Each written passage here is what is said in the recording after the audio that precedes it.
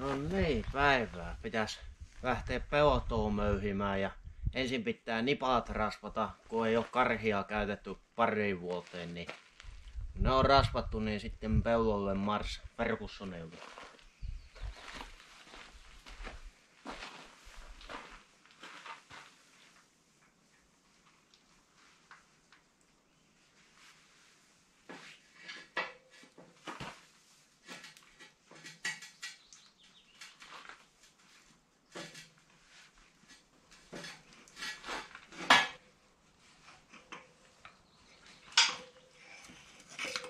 Rupiaa vanha ruuttavaa olleen, niin viukas, ettei se pysy käsissä enää. Ei sitten yhtä.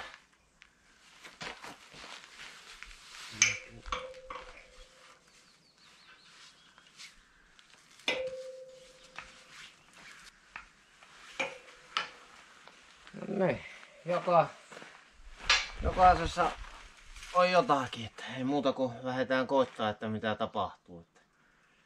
Tällä ei ole pariin vuoteen karhittu mitään. Pyöriiköhän rullat, se jää nähtäväksi.